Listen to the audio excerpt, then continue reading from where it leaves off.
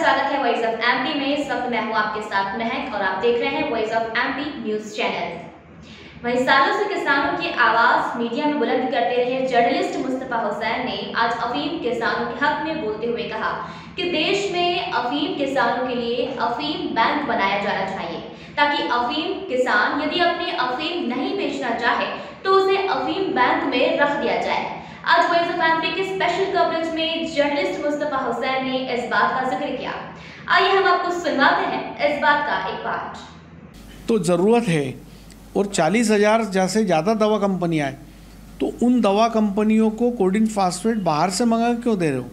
जब भारतीय अफीम किसानों की अफीम भरपूर मात्रा में तो उसी को प्रोसेस किया जाए और नई अफीम फैक्ट्री बनाई जाए।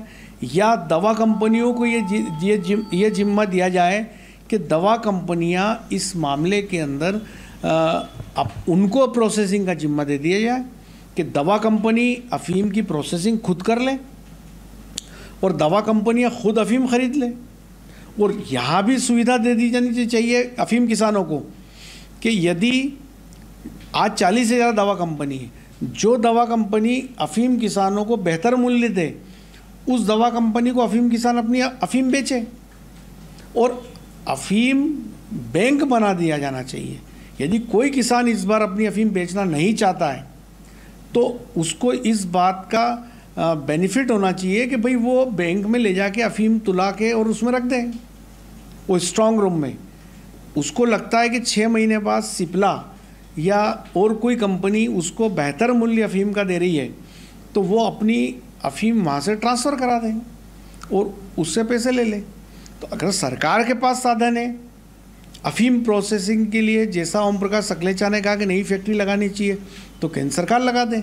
और यदि केंद्र सरकार के पास साधन, संसाधन नहीं है तो वो देश की दवा कंपनियों को अफीम की प्रोसेसिंग का काम दे दें।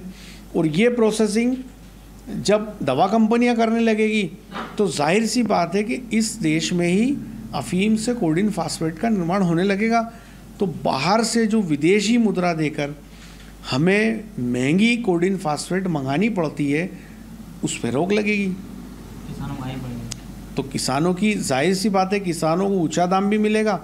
और अगर दवा कंपनियों का बाज़ार ओपन हो गया तो किसानों के रेट भी बढ़ेंगे अफीम के दाम भी बढ़ेंगे कंपटीशन होगा और किसानों में भी ये भावना जागृत होगी कि यदि उनकी अफीम की प्योरिटी बेहतर होगी तो दवा कंपनियाँ उनको बेहतर भाव देगी।